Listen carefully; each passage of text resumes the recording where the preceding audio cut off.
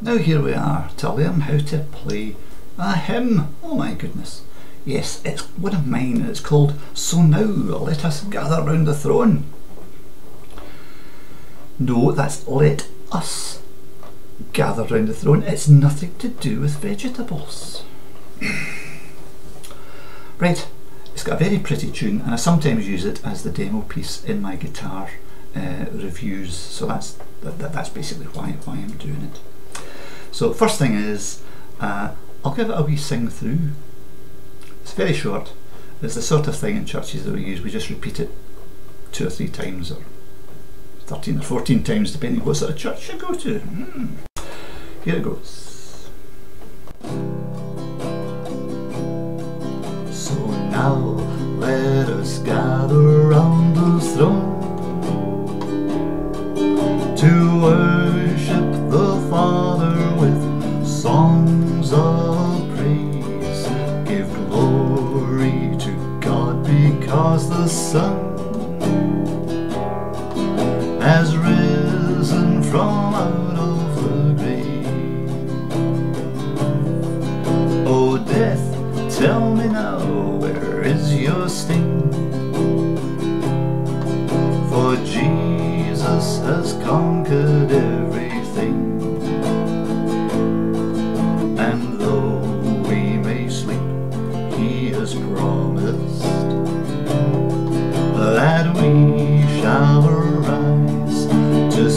sing out his praise. So now let us glorify his name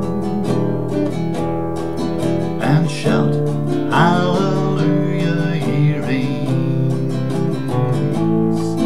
And shout, Hallelujah, he reigns.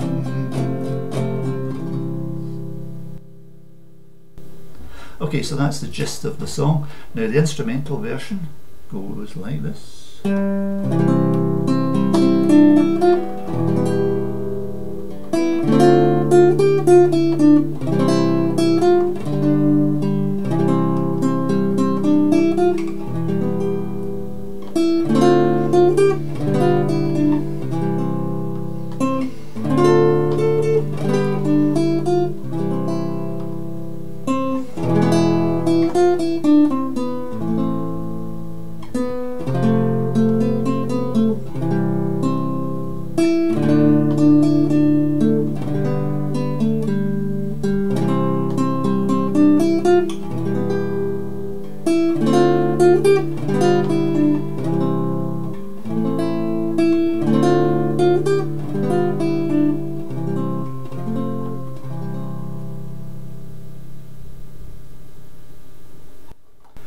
Now what I'm going to do is go through it in three different sections and at the end of each section uh, the guitar tab will appear as if by magic.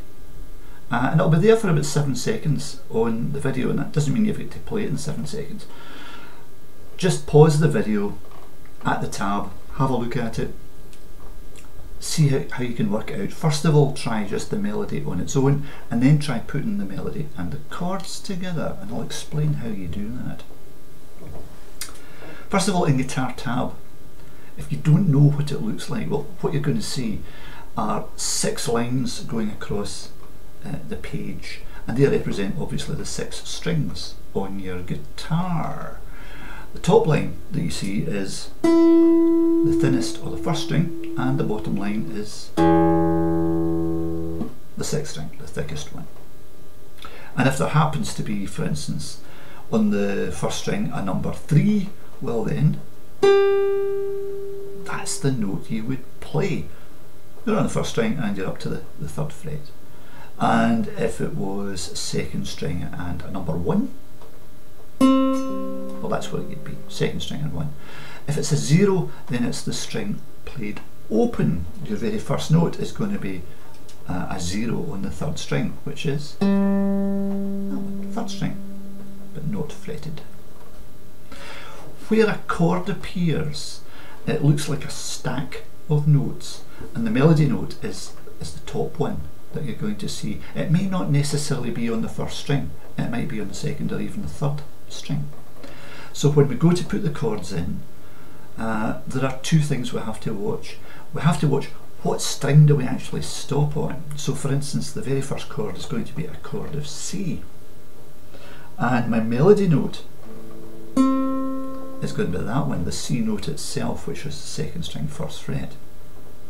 So when I play it, that's what I want to hear. Not because the human ear zooms into the highest note, the highest pitch that it hears.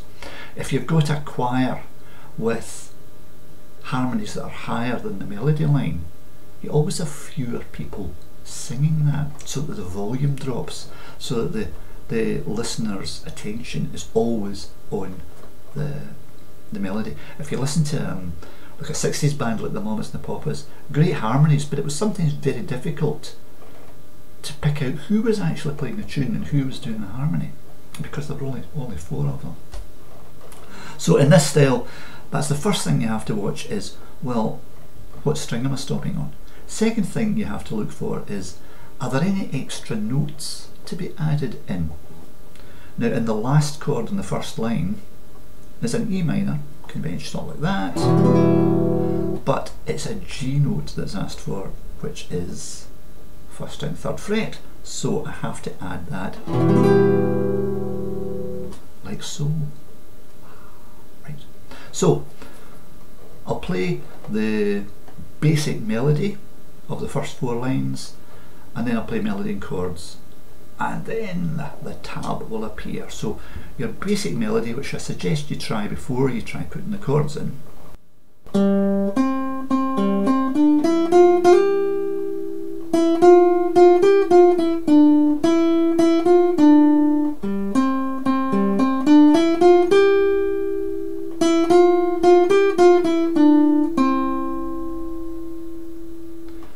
Chords,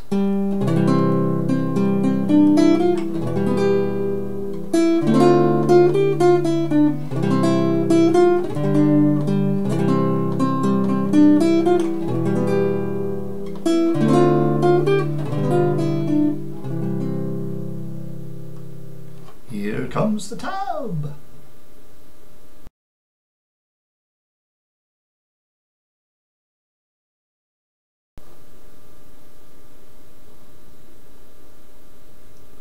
Now in our next section, uh, the basic tune goes like this. And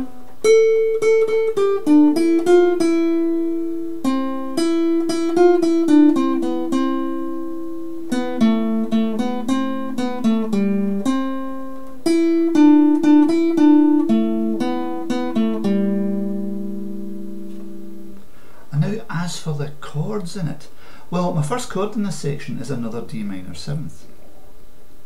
Um, the, the basic section it was in the first position like that. Second string, first fret, and that finger flattened. I can actually, I could actually do it that way, but I prefer to, to flatten my finger there, and then the next finger comes over onto the third string, second fret, play from the fifth, like so. But in this section, what I've got a, D minor seventh, but I need that note in it, which is up on the fifth fret, first string. And it's this shape, which you may recognise. It's just a bog standard D shape. Normally it lives down there, but when we move it up so that the two fingers are on the fifth fret, that will give us a D minor seventh.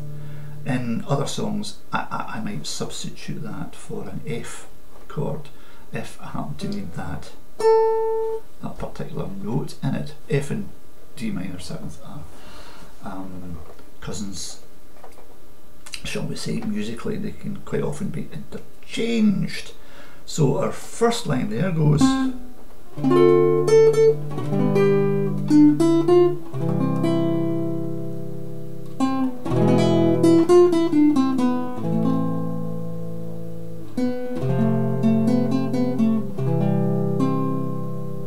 Now in that bit, I'm away from basic chords and I'm, I'm actually just using a part of the chord. In both cases, the F and then the C, I'm stopping in the third string. So I'm starting on the fifth string for the C and for the F. Carrying on to the next line.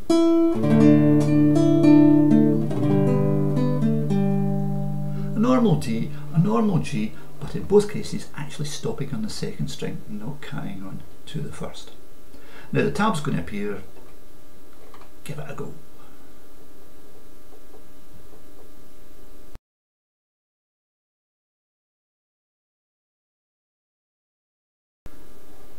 Now to the last section.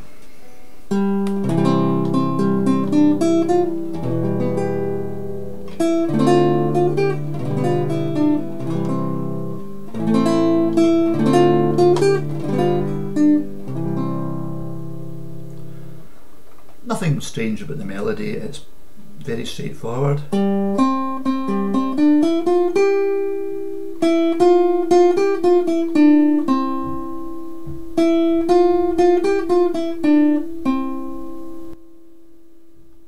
As for the chords, well the first line of that is exactly the same as the first line of the, the whole song.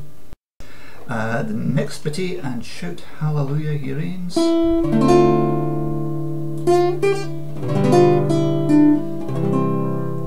Had a D minor seventh to start and then there was a G seventh which looks like that.